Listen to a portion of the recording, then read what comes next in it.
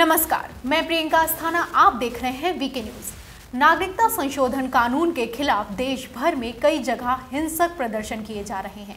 इसमें पूर्वोत्तर राज्यों समेत बंगाल, दिल्ली और यूपी के कई शहर शामिल हैं। कई जगह तो विरोध प्रदर्शन इतने उग्र हो गए कि पुलिस को भीड़ काबू करने के लिए लाठी चार्ज और आँसू गैस का इस्तेमाल करने के साथ साथ गिरफ्तारी भी करनी पड़ी।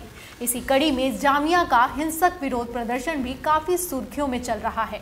जामिया छात्रों के खिलाफ पुलिस कार्रवाई पर बॉलीवुड के दिग्गज सितारे भी इस मसले पर बेबाकी से अपनी राय रख रहे हैं। लेकिन बॉलीवुड एक्ट्रेस परिणीति चोपड़ा को जामिया प्रदर्शन का समर्थन करना और सीए का विरोध विरोध करना भारी पड़ गया।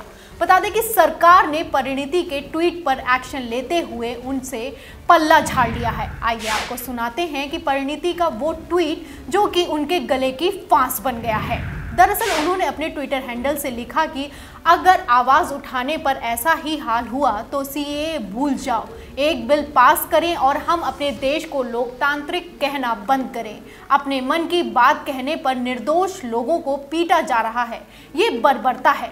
परिणति ने इस ट्वीट में नागरिकता संशोधन बिल का विरोध और प्रदर्शनकारियों का समर्थन किया तो वही उनके खिलाफ किए गए बल प्रयोग को बर्बर बताया।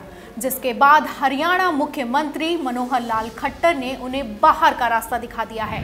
बता दें कि हरियाणा में बेटी बचाओ, बेटी पढ़ाओ अभियान की ब्रांड एम्बेसडर परिणीति चोपड़ा के नागरिकता संशोधन बिल पर आए ट्वीट के बाद सरकार ने उनसे पल्ला झाड़ लिया है।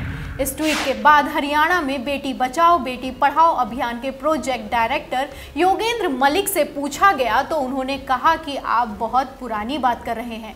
जहाँ तक मेरी जानकारी है और मैं इस विभाग को देख रहा हूँ, अब परिणति चोपड़ा हमारी ब्रांड एम्बेसडर नहीं रही।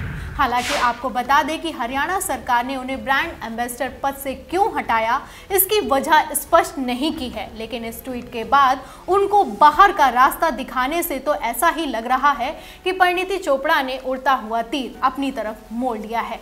देश और दुनिया की तमाम बड़ी खबरों के लिए देखते रहिए VK news like share subscribe ज़रूर करें।